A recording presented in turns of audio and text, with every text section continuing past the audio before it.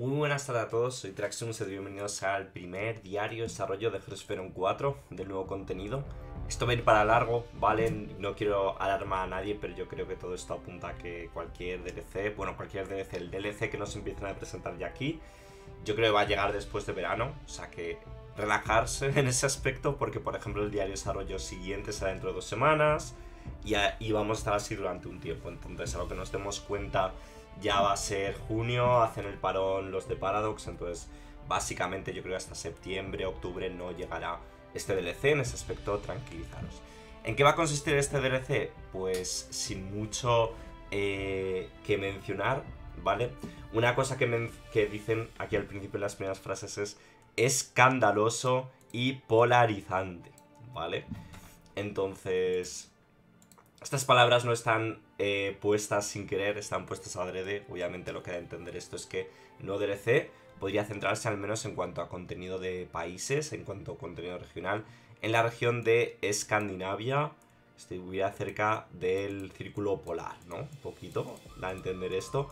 Eh, quizá es baiteo, ¿vale? No, no, no, vaya, no nos volvamos muy locos con esto, pero tiene pinta de que va a ser el DLC finalmente de Finlandia, eh, entiendo, eh, Dinamarca, ¿no?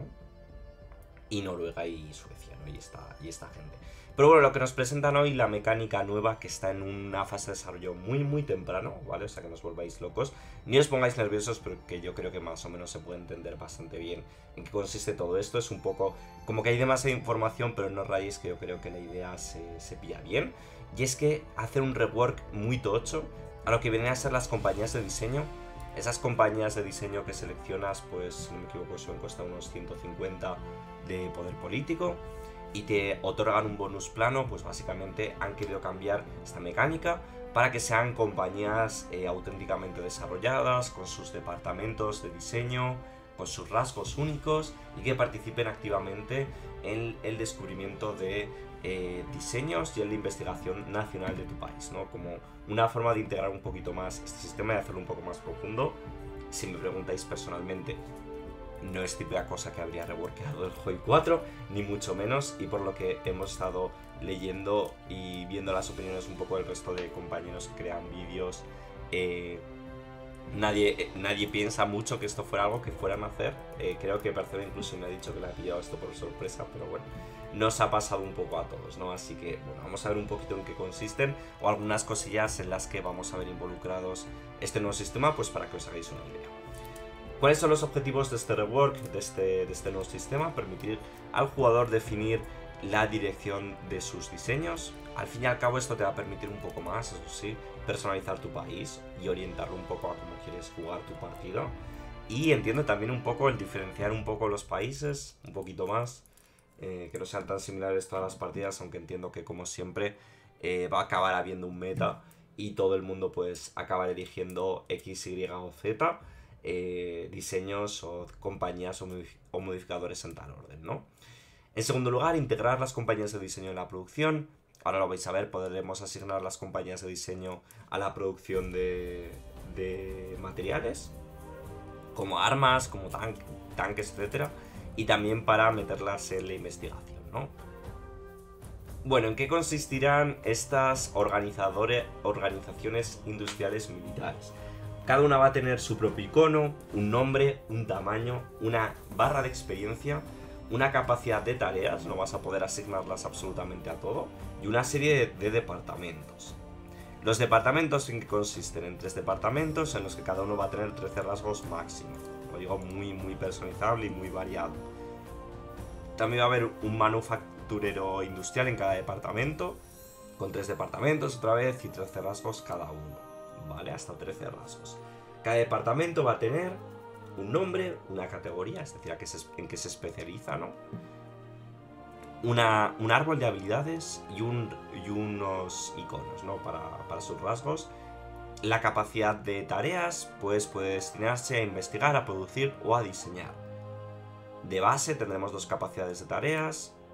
Bueno, básicamente aquí hay bastantes cosas, ¿no? La capacidad de tareas, pues lo que digo, que no puedes destinar a cada compañía de investigación. Voy a llamarlo compañías de investigación por no volvernos muy locos en este diario desarrollo, pero básicamente ahora las compañías de diseño eh, o como lo queramos llamar, pues se llaman eso, industrias, organizaciones industriales militares. Pero bueno, las compañías de diseño un momento no este diario desarrollo para que no nos volvamos muy locos. Pues como digo, no puedes destinar a, cada compañía a hacerlo absolutamente todo. Pues sí que es cierto que históricamente hubo compañías que se dedicaron a muchas cosas. La idea es que si eh, inviertes mucho en una compañía y ya a estar muy tocha, pues que sí se pueda dedicar a hacer muchas tareas, pero que no necesariamente lo vayan a poder hacer todas, ¿no? En este caso estamos viendo aquí em, cómo pueden subir de nivel y cómo se pueden mejorar. Va a haber un coste de investigación y de producción que va a calcular cuáles son eh, los fondos que recibe esta organización industrial militar, esta compañía de diseño, que básicamente se traduce en cuánta experiencia, tiene, ¿no? Cuando incrementes los fondos, cuando incrementes la experiencia de este, de este mío, de este, complejo, incrementarás su tamaño y podrás escoger un nuevo rasgo, por tanto ser un poquito más tocha, ¿no? Aquí estamos viendo un poquito la interfaz. Aquí os podéis hacer idea de más cosas, que estaríamos viendo eh, su nombre, algo de información, cuántas tareas se, se puede dedicar. Estaríamos viendo el equipo de diseño, aquí arriba en una tabla, cada uno de los tres departamentos que tenemos y los distintos rasgos que tiene, ¿vale? Luego tendríamos la manufactura industrial y arriba a la derecha un, histórico, viendo un poco, pues entiendo, algo de flavor, algo de contenido de lo que podamos haber hecho con ellas, ¿no?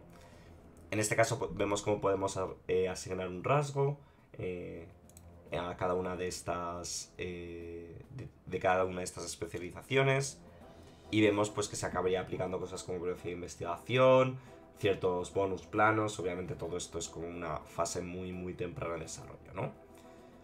Bueno, aquí vemos lo que son las manufactorías industriales, que son unos tipos de departamentos que podemos tener, se pueden asignar a las líneas de producción y van a darnos eh, bonus de habilidad. Centrados un poco en estos bonus, luego vamos a tener equipos de diseño que vamos a poder asignar a las investigaciones, aplicar al equipo que van a aplicar pues bonus pues al equipamiento, van a dar rasgos, van a dar algunos tipos de mejoras, ¿no? Aquí estamos viendo, por ejemplo, cómo estaríamos aplicando un, una, compañía de estas a la investigación de infantería ligera, ¿vale? Vemos que eh, aquí tenemos la compañía, que en este caso pues la podríamos asignar aquí, que ahora lo veremos eh, aquí de forma más vistosa. Aquí no está dando ningún bonus, aquí es para que veamos cómo simplemente está asignada, ¿no? Eh, vemos que aquí arriba a la derecha tendríamos el vistazo clásico, en el cual eh, no hay nada asignado, no hay nada distinto, pero aquí a la derecha vemos esta, a la izquierda, perdón, vemos esta bolita rosa, que representa pues que hay una compañía asignada y si pasásemos el botón por encima, pues obviamente veríamos cuál, aunque la idea es que obviamente cuando salga el parche del DLC pues tengamos aquí el icono representativo de la compañía con la que estamos eh, jugando, ¿no? Aquí estamos viendo las variaciones de equipamiento, como tenemos aquí pues distintas compañías que podemos asignar aquí al equipamiento y conocer algunos bonus, concederá exactamente lo que sea. Aquí lo mismo un poco. Eh, vemos que aquí estamos creando una variante. Esto si no tuviéramos el diseñador de, de tanques en este caso, pues podríamos asignar el, complejo industrial militar este a la variante. aquí vemos que está aplicada la compañía, ¿no? No sé, si, no exactamente pues qué cambios hay realmente parece que utiliza menos, menos recursos. Por factoría, por ejemplo, está empeñando menos acero. Que eso puede ser un bonus que te otorgue el, el de estos diseñadores. Que utilizas menos materiales para, producir algo. Aquí estamos viendo cómo se está aplicando a un diseñador de, naves. Em, y aquí estamos viendo cómo las podemos asignar también a las líneas de producción, ¿no? Y un ejemplo que dicen, por ejemplo, es que en este caso estamos creando unos, unos nodos para los destructores. Estarían costando 20 de acero. No lo veis, pero está aquí abajo, ¿vale? 20 de acero. Y que asignar una de las compañías de producción, pues cambiaría y empezaría a, costar 25 de cromo, que es el material. Bueno, no, es el cromo, no me acuerdo de cuál es este material, vale, vais a disculpar. Pero bueno, esta sería un poco la idea detrás de estos cambios. Básicamente, en resumen, eh, rework tocho el tema de las compañías de diseño para que sean mucho más profundas, puedas jugar más con ellas y se integren en más fases del juego, ¿vale? eh, podamos preocuparnos pues, por más asuntos. No sé si esto va a llevar a mucha microgestión, si va a ser una cosa sencilla al fin y al cabo, si va a ser algo con lo que interactúes de vez en cuando o con lo que te puedes eh, involucrar eh, voluntariamente, en el sentido de, ok, tengo muchos puntos para muertos del asco, voy a invertir en una compañía para que se ponga tocha y poder sacar mayor beneficio. En general, como digo, me parece unos cambios a mejor, dado que es un sistema pues que, como digo, hasta ahora no tenía mucho misterio, simplemente algo con lo que interactuábamos cada mucho tiempo, lo activabas y te olvidabas de ello, a tener un poquito más de gracia. Como digo, no es algo que yo me hubiera puesto a atacar en el Hoi 4, pero bueno, veremos en qué se acaba convirtiendo todo esto. Así que nada, disfrutar de este diario de desarrollo porque hasta dentro de dos semanas no vamos a tener más. Que ya veremos en qué consiste, no nos concretan nada, si no me equivoco. Dicen que nos van a mostrar otra nueva función, otra nueva característica que llegará a nosotros en este futuro cercano. Así que nada, seguimos teniendo mucha paciencia con Hoi 4, pero bueno, algo es algo. Eh, nos vemos en el siguiente vídeo, chicos. Cuidaros. Chao, chao.